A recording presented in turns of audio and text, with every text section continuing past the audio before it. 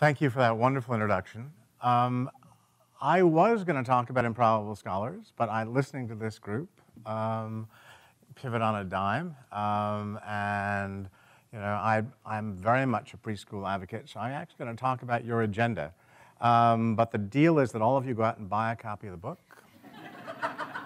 and I teach at a public policy school, so you know, I know um, something about economics. If you don't like the book, you just, you know, don't even send it back to me. It's a money back guarantee, so it's free if you don't like the book. And I'm still waiting for somebody to, to, uh, to take me up on that. Um, it's great to be here. Um, one of my old students is here. Um, Paul, who Paul also introduced himself, is um, part of um, Experience Corps, on whose board I serve, used to be on the national board. Um, and I'm, I'm, on the board of an organization called Friends of the Children, um, which is looking to expand in the, in the Bay Area. It's a mentoring program that starts with kindergarten kids who teachers can unfortunately predict are going to be in trouble if they don't get support and provides mentoring to those kids from kindergarten through high school. So a very long-term mentoring program, and I you check the website and see what, see what it looks like.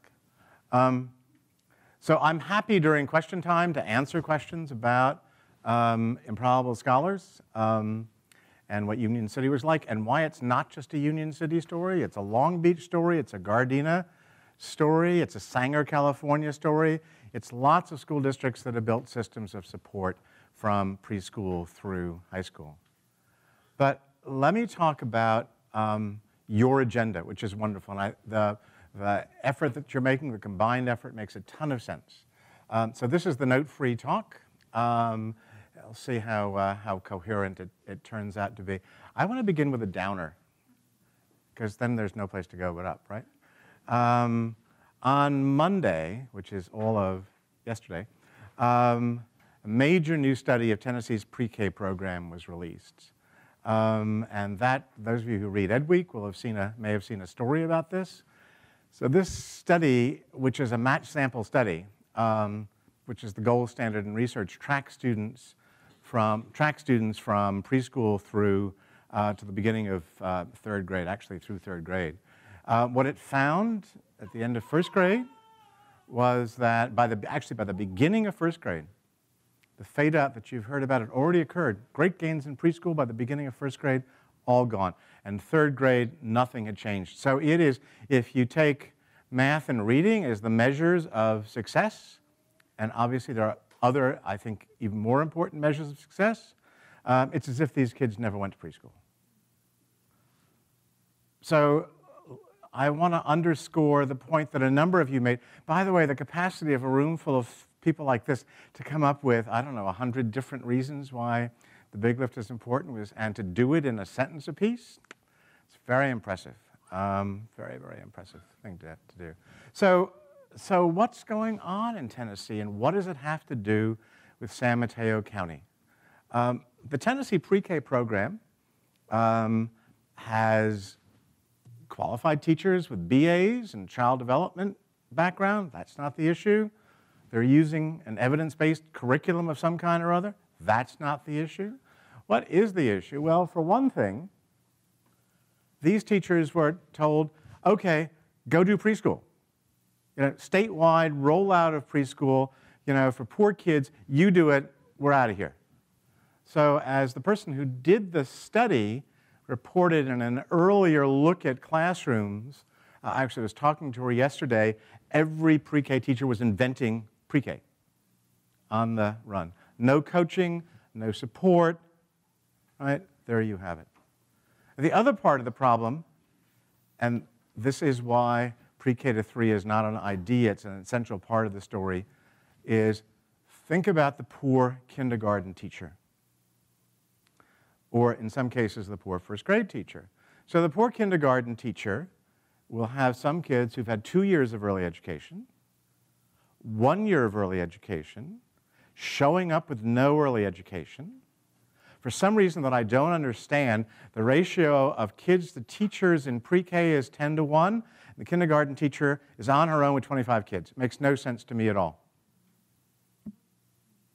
The first grade teacher is going to have some kids who've had two years of preschool and kindergarten, and she's going to have kids who've had one year of preschool and kindergarten, zero years of preschool and kindergarten, no kindergarten, showing up fresh. Think about that range. Who is that teacher going to teach to? Add to this inclusion, which means there are a lot of special needs kids in those classes, and the increasing population of English language learners. Who is that teacher going to teach to? So, what it, the, the answer turns out to be a kind of lowest common denominator. We know that from the research as well. Well, if a pre K student gets pre K all over again, but a bad pre K, because pre K is all about hands on, 10 to 1, ideally, right? Tables, projects, incite the mind. Kindergarten should look like that as well, but 25 kids should look like that array of kids. The temptation nationwide is circle time, you know, teacher led discussions, a lot of time spent in transition activities, not a lot of time on the kind of project based learning that we know matters. So that's Tennessee. It's also lots and lots of places. So is it really a surprise that pre-K, that the results that I'm describing, you know, exist, excuse me, the results I'm describing, the no effect results, um, are what's being reported in, in Tennessee? So the first part of the story has to do with this thing called quality preschool. But the first, first part of the story has to do with preschool. It is an embarrassment that this county has so few kids in preschool. I mean, nationally, you're laggards. Tennessee does better than you, Oklahoma, Georgia, West Virginia. When did you ever hear yourself compared negatively to Oklahoma? Never. This is embarrassing. Priority number one has got to be quality preschool. Has to be. Uh, I was part of the effort to increase the early education budget in California by a third of a billion dollars a couple of years ago. That helps some. It's early education and various and sundry other things. We have a governor who doesn't believe in early education. His comment to me when we were discussing why you should fund this is look, I was kicked out of kindergarten and I turned out fine which is not very helpful, right, if you want leadership there. And then when he signed the bill, here's what he said I don't know why I'm doing this. So that's not very encouraging either. We're pointing to the next election, and we're already meeting with uh, candidates to, to educate them about the importance of pre K. But that starts right here. You know, more than summers, more than all the rest of it, you got to start with pre K. And not just any old pre K. That, again, is part of that Tennessee story right? So having qualified teachers and a good curriculum is critical. By the way, you've got a QRIS in the state, so do 49 other states. They all have their own QRISs. You know what the key letter is in QRIS? What's the key letter in QRIS? Q, right? Q. So you've got a whole bunch of things going on, we do, in the, in the Q and QRIS. They're of very different importance. You know what matters most and this is what I would have talked about in the context of Union City. What happens most is the developing of a trusting, hands on relationship between a grown up and a kid. If you've got that, if you have that kind of relationship, if the teacher is encouraging the kids to explore, and the teacher has enough of a background in child development to know what's involved and understand the developmental difference between three year olds and four year olds, and has materials to encourage that kind of exploration. I talked about the Magic Garden in, in, uh, as a description of, the, of one of the preschool classes in Union City. There, 85% of the, of the three and four year olds are in preschool. So there's a target to, to aim for if you're going to aim for high reading scores. Got to start there. Yeah, that class, I, let me just put you guys on the spot. How many of you have been in a preschool or kindergarten classroom in the last year? Yes. Good, right? You want to cheer yourself up? Go to a preschool or kindergarten class. You can go to observe, but that's not going to happen. By the way, go in the morning, right? Afternoon's kind of not so much. Uh, go in the morning, and the kids are going to engage you in what's going on, and if it's a good preschool classroom, they're not going to come rushing to you because you know we think we're really interesting, but not as interesting as the stuff they should be doing. But you go, you know, like so, you know, talk to the kids, um, and they're going to pull you into what it is that you're you're about doing. Seeing is crucial so, one political task I'd urge you to take on is to take every supervisor, every Board of Education member, any other influential you can find on a trip to a good preschool and a trip to a good kindergarten.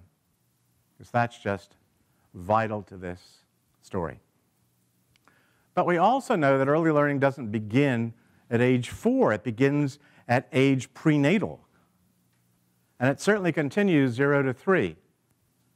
And my hunch is that in this case, like most other places, not much is being done about educating zero to three year olds. We spend a lot more money on Head Start than we do on early Head Start, despite the fact that the early is crucial.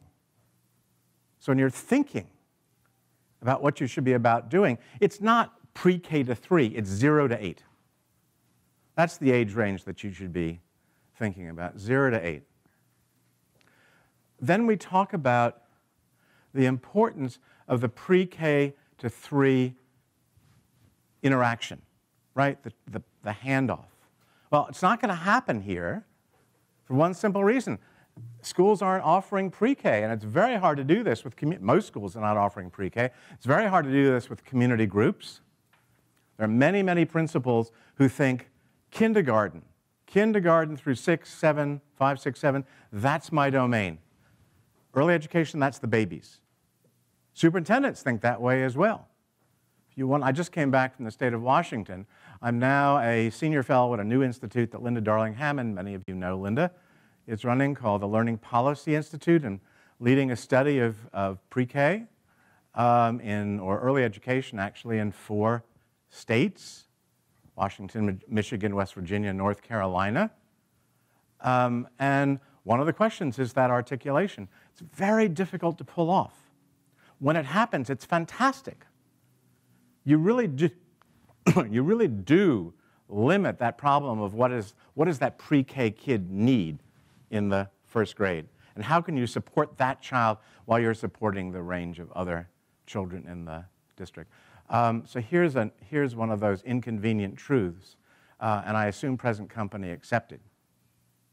Third grade is the big make or, first big make or break year in testing, right? So all too many school districts dump their least able teachers in a first and second grade. Makes sense if what you're looking at is test scores. Maybe. It doesn't make sense if what you're looking at is children's needs. So that's, a, that's very much a part of the, the story. Let me stop there. It's enough scolding enough reality check.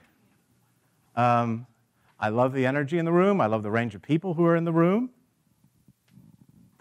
I think that this is a group that has the potential to turn that story around. But I don't want you patting yourselves on the back. You've got a long, long way to go. You've got to start with preschool. Thank you.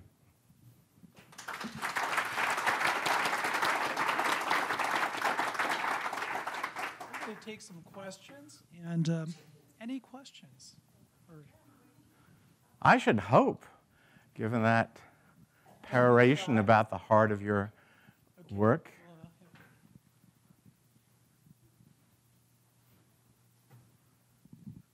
How did New Jersey and all these other communities pay for it? Well, that's a very good question. New Jersey's got a lot of money. By the way, California's got a lot of money too, right? So, you know, that, what that question says is, and it's an absolutely legit question, we don't prioritize pre K. We don't have enough money. Where's the money going to come from? Here's my answer, which I, I offer you tongue in cheek, although some Democratic legislators took me seriously. Easy. Get rid of senior year in high school. Think about it. If it wasn't for football, wouldn't have senior year in high school. And now that football is, is disappearing from many schools, that excuse is gone. Get those kids, you know, in a, in a, in a school work program or a school college program. You know, that's a kind of you know, make you think idea. Um, New Jersey, Massachusetts, which has a brilliant new program in Boston, it's fabulous, um, spend a lot of money on education. They spend twice as much money as we do. Remember, we used to be number one? We have now risen to 36. We used to be 47, so we're going the right direction. But that also is embarrassing as a part of the story. So that's the, that's the answer to the question. Money, money is, is going to take organization, it's going to take political will, you know, it's going to take convincing the next governor. I mean, we were looking for $1.2 billion, which was sort of going to bring us a little bit closer to where we were before all those cuts in 2009, 2010. We got a third of a billion, which is good considering no other program came close to that, but it doesn't begin to address, address the needs. You mentioned Union City, and this, obviously that was funded by the state. So what happened to the other school districts in New Jersey? The Union City is one of 33 so-called Abbott districts, which are the poorest districts in the state. Uh, they're funded, and they're funded because of a court order. Um, that, by the way, might suggest a possible strategy. Um, they had a, a constitutional provision about a thorough and efficient system of education, and the judge concluded that a system, a, a thorough and efficient system of public education, had to include pre-K. There's no other state in which, the, which an appeals court has upheld that notion, but here's what's happened in places like North Carolina and Arkansas. The trial court agreed with the plaintiff's argument. That was enough to get the legislature moving. And then by the time the appellate court reversed that decision, the train had left the station. So that's what New Jersey does. Massachusetts funds it itself. I mean, every other state funds it itself. How many of you have heard of Aldine, Texas? Aldine, Texas, Houston's poor cousin, bigger than more kids than Washington, D.C., more kids than Boston. They've got less money than we do. It's the kind of place where if you want to go see the superintendent, by the way, thank you for providing me with a quasi meal to get me um, through this, uh, this, this conversations. Um, you want to, if you want a cup of coffee in the superintendent's office, you put a quarter in the, in the jar. Seven, hundred dollars. They offer preschool. They find a way. They scrape, they scrimp. The choices they make are horrible. They want to get kids graduating. They want AP classes. They can't have both. They don't have the money to have both. That's a problem. But they find a way to offer pre K. You know, nationally, 45% of four year olds are in state funded pre K. 45%. And it's going up. 41 states, every one of those states increased its funding for pre K, but most of those states cut the per pupil expenditure. Didn't get the quality point. Politicians are big on claiming, look, we just added 50,000 new kids to the pre-K program, which is, the, you know, at least as many kids are now in pre-K in California because of the recent legislation. They're spending less than $4,000 a kid.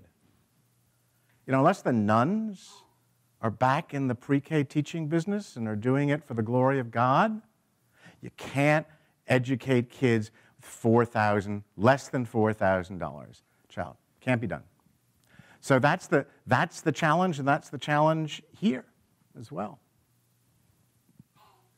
One of the realities of the preschool or early learning system in California is there is no system. It's very fragmented. We've got school districts doing early learning, we've got nonprofits, we've got for profits, we've got cities. Um, in the other states where you see more robust uh, uh, early learning and preschool programs, is there a more cohesive group? Because I think the impact of the fragmentation that we have is when we go to Sacramento, we're up against a very well organized K 8 system, K 12 system, community college system, UC system. And the fragmentation means that uh, it's very, very difficult to get any priorities for early learning. That's a really good point. And you know, you also have different funding streams.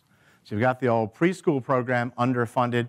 You've got this thing called transitional kindergarten, which makes no sense educationally, but lots of sense politically. It was the nose into the camel's tent. You know, you get those kids born between September and, and December into, some, into an extra year of school before they go into, into kindergarten. Those classes are funded at the K 12 level.